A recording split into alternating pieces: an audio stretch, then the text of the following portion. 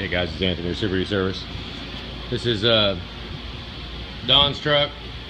I'm gonna go ahead and call them out. They obviously they sent an email talking smack, uh, saying you know it was his fault. He worked on, he did this, blah blah blah. Basically passing the buck. This freaking shop ain't doing squat for him. They're leaving him out to dry. They're hanging his ass. They uh, this truck, you look right here, 5,000 miles ago. Look, now you can tell on the rockers it's still got assembly lube on it from the studs.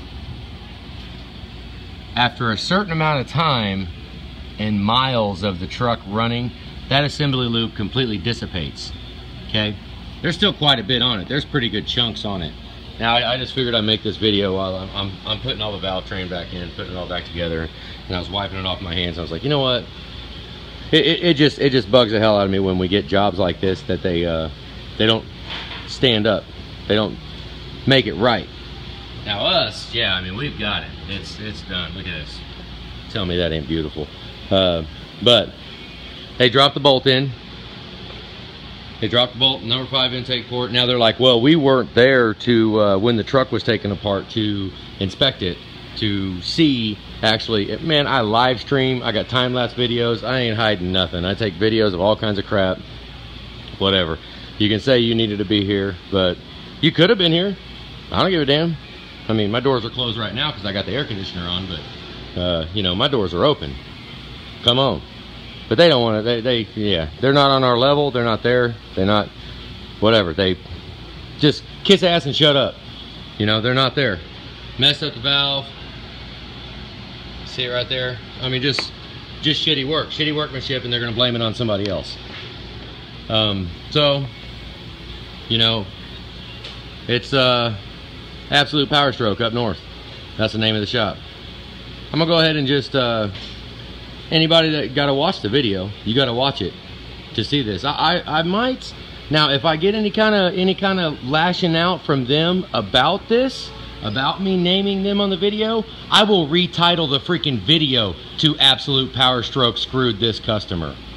Okay, so if you guys up there do see this video and you want to moan and groan and bitch and complain and moan and groan about this and that and you're using my name and you're slander and you're doing this and you're doing that, kiss my ass, you some bitch. I don't fucking care. Okay? You screwed this customer. He's almost $15,000 in now to fix because of this freaking bolt that you dropped in there. Now you want to get mad? I ain't doing no slander. I'm showing you what it is. Okay? So, yeah, I mean, I gave him a chance. What? It's been a freaking month now. I gave him a chance. I stalled as long as I possibly could before putting this engine together, before go ahead and carrying on. I stalled. We got we got work going over there in the second bay. We got third bay going up. We got. I stalled as long as I can. Well, that's it. So to help this customer out, I figured I'd go ahead and make a video and show it. Show it. His name is Don, Don McCowan. Uh, yeah. I mean, and I will go in and I will make, I'll take this video down if they do come through and decide they want to make it right. And I mean, by making it right, honestly, the best thing they could do is refund every bit of the money that he spent at your shop minus the studs. Make him buy the studs. Even if you mark it up, mark it up to your, you know, $700 or whatever you guys sell studs for. You know, I sell them for 450 You know, mark it up. Sell them the freaking studs. But the head gaskets, all the work that you guys did, the, the surfacing uh, with no valve job, all that crap, you should refund that. You should give it all back to him. And also another in response to, uh, you said you they uh, you said that Don, the customer, did not give you the chance to fix the truck. Bullshit.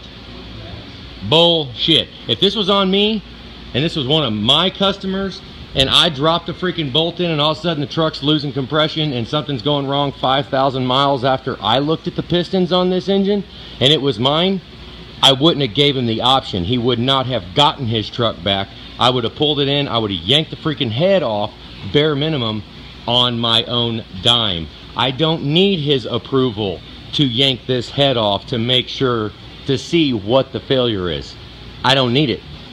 All of my customers know if something like that, if Cole over there drops a bolt in that freaking engine and all of a sudden hey, we got an issue coming up. I'm gonna take it apart on my own freaking dime. But of course, that was a heads off job. That, he's just doing, but uh, I'm not gonna give it the option. I'm not gonna give it the option to release the truck to the customer. I'm gonna take it apart on my own dime. I will not let a truck leave that's got my name on it. Uh-uh, not gonna happen. So when you say that, that Don did not give you a chance to make it right, bullshit. You had the truck for almost a month sitting at your shop and it, it got towed straight from your shop straight to mine. So you had time. Pull the son of a gun in, yank the freaking head off. You would have found the bolt. You would have found it. Now, I mean, it's all speculation. Who knows what would have came out of that, you know?